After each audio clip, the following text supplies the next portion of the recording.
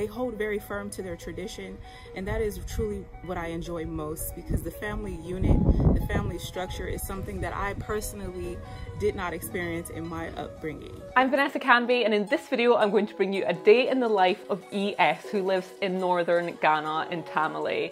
She moved from America to Tamale quite recently and she also was traveling around different areas of Africa. But I'm so excited to bring you a day in her life in Ghana because she's one of my favorite YouTubers. Hello everyone, I am ES from Eat Love Migrate channel. Good morning.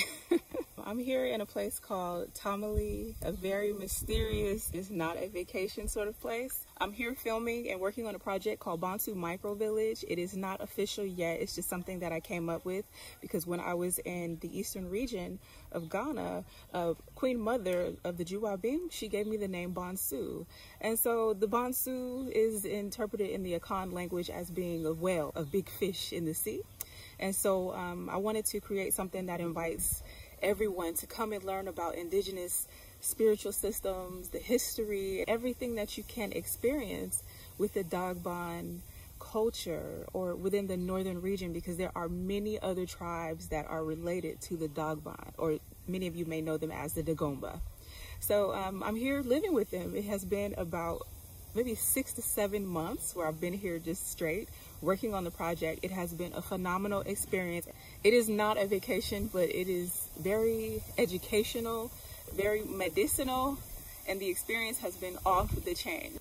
Nothing glamorous at all about my experience. It's just not. It's just the real deal holy Holyfield. Because my whole approach to coming here was to learn about tradition and things that happened throughout the times of slavery, which has resulted in this mass divide of people, but you know, still informing others of the medicinal practices which are still practiced to this day that are open to those who come from these different lineages that were dispersed many, many years ago. So I'm here building so people can have places to stay. The motions of my life are fairly basic. Right at this time, there is a pandemic going on. So it's not very glamorous for me. I mean, wearing masks, you know, that's very difficult going towards Accra. Um, I do spend some time in Accra to handle business for the project. But um, for the most part, I try to take it easy. But as of late, I had to go and enjoy myself, you know, get my nails done just to feel like a girl again. And it was so magnificent. Look at me, look at me. All right, so she's gonna give me a pedicure now because it's been a while yeah, everything is about the project. Going out there, watering my plants, managing the guys with regards to what's going on. There's been a lot of ups and downs, which you'll see with regards to, you know, the men not doing proper measurements right, um, to having creative ideas that are not necessarily met. You know, it's a lot that goes into building up here in the North, dealing with indigenous people. It's not like just hiring a contractor, you know, it's on a whole nother level.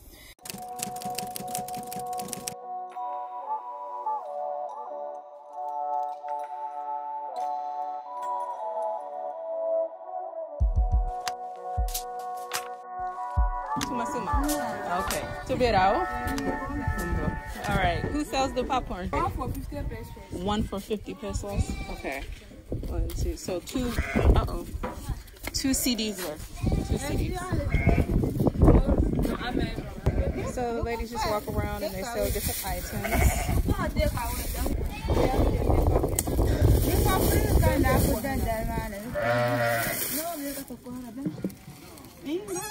Look at this little goat. It's new.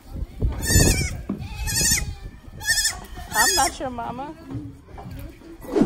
Usually I get up in the morning, get dressed, have breakfast, and um, sometimes I might respond to emails depending on if I have anything to do at the land. Uh, this morning I'm waiting on a phone call with regards to the carpenters and the project that they're currently working on. So until then, I'll just respond to Patreon, uh, new members of Patreon, just thank them for supporting the project. My cat likes fried egg, but I can't just, it can't just be like a, a basic fried egg. It has to have like a little African spice, a little salt. Yeah, she actually enjoys um, like this thing called fula. It's from the village. It's used for spiritual purposes. It's really tasty though, but she's used to a, a village style of um, food because that's where they brought her to me from a bit of that before we make my protein shake. You guys think this is a game? I'm serious. She likes albacore. You know, and just uh, tuna. She is such a Ghanaian cat. She's so adorable though, I love her. Her name is Juju. She's looking for the food. like she sees it. Time for the food, yeah? It's, stop playing around, lady, right? okay. a community house, it's a family house, but there's approximately 11 apartments and the owner is currently building uh, another guest home and there's going to be approximately 11 or 12 but it's going to be a guest house. This is a family house. And so um, it's a good experience. Oh it's pink. I don't like pink food. There she goes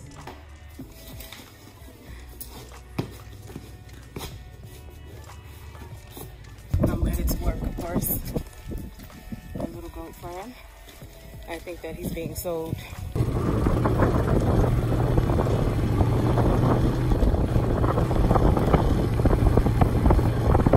They've been working on the second floor of the outdoor um, the outdoor kitchen. So we have to buy some more wood to finish everything up. We're gonna close it out with more of the roofing sheets. I think it looks pretty cool. Can't wait till it's all finished. So it looks like our window guys have arrived with the frames. So we'll see what happens with that.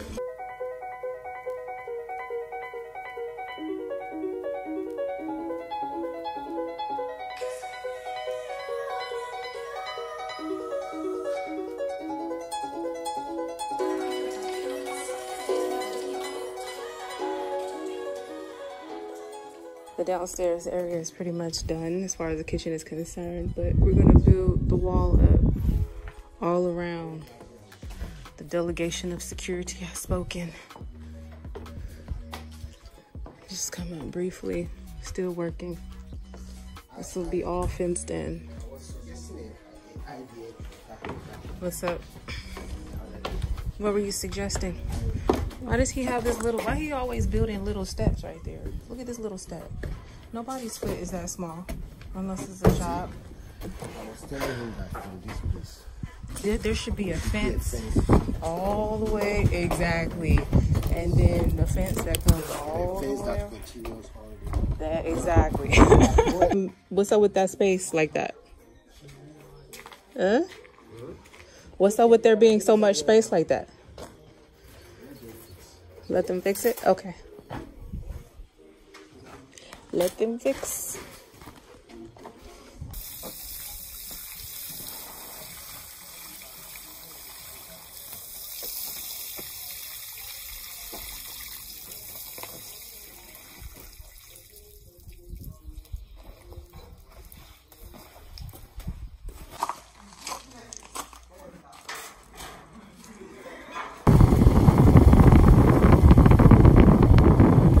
Here is a fried egg that Ayoko made mm-hmm. for us.